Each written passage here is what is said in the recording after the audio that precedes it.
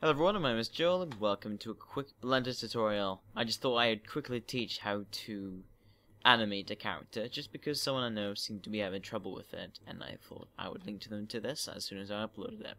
So here we have um, completed character with uh, with a full on um, character rig here as you can see and he's in pose mode so we'll just put him into reset so uh, let me think how do I do this reset Nope. Uh, pose. Clear. No, no. Hmm. Oh, yes. Clear pose transformations. Okay, that took a little bit longer than I needed to. okay, so we just go into this page here uh, by pressing Control left twice. So that's Control right, right. Control left, Control left. Should have explained that. So, what we're going to do is, first off, in this little screen here, it looks a little bit overwhelming, but we'll get into it. Uh, first off, you'll see here, uh, Dope Sheet, change that to Action Editor. This will allow us to actually choose animations. Then you press plus, uh, and then you name the animation. So we'll just say, uh, I don't know, do a jig. Why not? Uh, and you won't usually see uh, any poses, but if you have anything, just put your mouse over this, then press A, then press delete to clear all animations. Then you start from scratch. Uh, so, we've got 60 frames here. Um, usually it starts with more, but I would suggest you change end to 60 frames. And then uh, make sure you have the animation at 1, though it really depends where you want to start animating at. We'll start at 1. Uh, we will make sure to have uh, this little record button turned on, just because it will record our our uh, keyframes. So, next we're going to just rotate the arms down, do 70 degrees, why not? Oh. Um, I'll just remove this because we don't need it. Um, alright. Hold on, did it record it?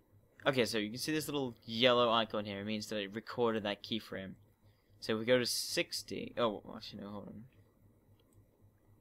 We'll just select all of the, um, all the bones now, press Control C, and then we'll go to the very last frame, which is 60, and press Control V. That copies that same frame, so everything's now the same. So let's just, for example, do this, this, this, and this. So this is at 30 frames, this is at 0 frames, this is at 60 frames. So now we go and play that. Um, yeah. Hold on. Um, I appear to not have done this properly. Alright, that's fine. Um, it's because I've simply forgot to select all the bones here and then paste them here as well. Yeah, that's a problem. So uh, we can see now that all of the bones, all these are individual bones here, and we've got every single one here and you just go to the top to select them all. So they've all got the same amount of bones recorded on each keyframe.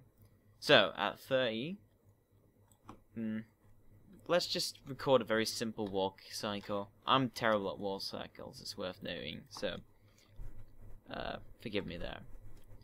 We'll just do this on, say, 45, and put that on 45 as well and we will do the same thing but in reverse.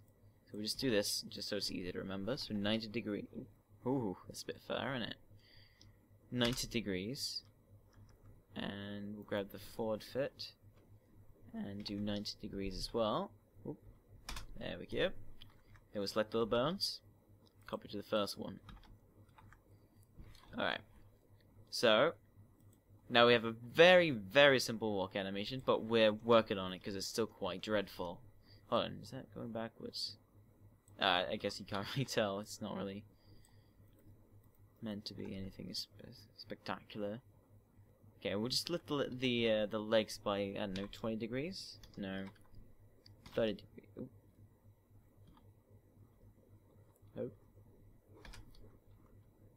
Okay, sure. We'll we'll we'll do 30 degrees. Why not? 30 degrees. Oh, nope. Hold on. A little bit too far there. Um. Right, so we're to have to delete all those frames there. So how you do that is just simply zoom in on this, right click on the top one, or, you know, whatever keyframe you want to delete, then you just press delete, and then press delete keyframes to confirm it. Alright, so, that should look a little bit nicer. Very, very little. Um... Okay, what we could do, just because uh, the bone is not actually selected, uh, it, rather connected to this piece, we could just bring it down. Um, do that. Though it will make it unsymmetrical, but screw it. Screw symmetry. Whatever. it doesn't matter. S symmetry's for, sh for chumps.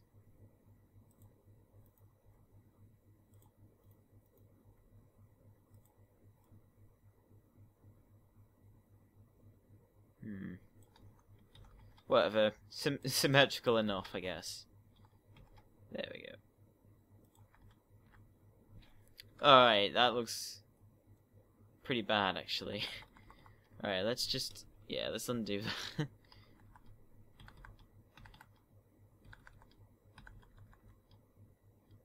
um... Is that right?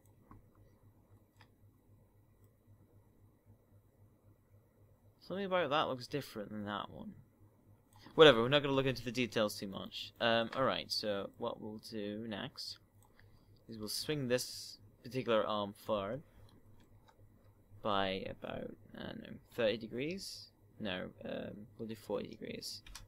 Alright. And we'll bring this one back 40 degrees. And then we'll do the same thing over again. So let's just work out which way that would go. So that's going backwards. So we'll bring it forward now. 40 degrees. And we'll copy that. Alright, and now we need to bring this one back. 40 degrees. Did I do 40 degrees or 30 degrees? I'm already forgetting. God damn it. Uh, whatever, it doesn't really matter too much. Alright. Yeah, looks like I might just shoved. You know, whatever. You know, I don't. I don't really care. Whatever. I'm not doing my math properly, obviously, but it doesn't matter. Alright, we'll bring this over three degrees. Um, that way. Yeah, sure. And then we'll do it again, but bring it over that way for three degrees. Then copy that. Alright. So we're getting there, yeah? We're getting there. Uh, we are getting a bit clippage there, but I usually figure that out after we get the basic animation done. Now we may as well get the the head shifting a little bit as well. Um, we'll do it a little. Oop, I forgot to actually do my calculations. Five degrees, and then we'll do the same here. Five degrees. Copy that. Paste. Alright. So there we go. Uh, and now we'll go to the old... And here's the animation I prepared, uh, prepared earlier. Um, I, I think I broke this model. Oh wait, no, no, no, no, no, hold on. No, I didn't break it. It was because it was meant to be equipping a weapon. Never mind. I was going to say that was going to be a bit weird. Um, now we'll look out. Uh, hold on. Let's actually go all the way back to get that. Uh, oh, we can't go back enough. Never mind. Um, right. So we'll just uh, relaunch that, and we got a little Dragon Ball Z in the background. Just ignore that bollocks. Um, now we'll have to say that uh, getting stances like this is a bit tougher, but I've got um, an attack stand, uh, an attack animation that pull arm swing one, oh, two even and then pull them swing one. Um, now, attack animations are probably one of the harder parts of um, of animation, but uh, definitely easier than than doing the the the um, the attack stance. So the um, the idle attack stance like this here. This was uh, very hard to get the legging right, and even still, it looks a bit awkward.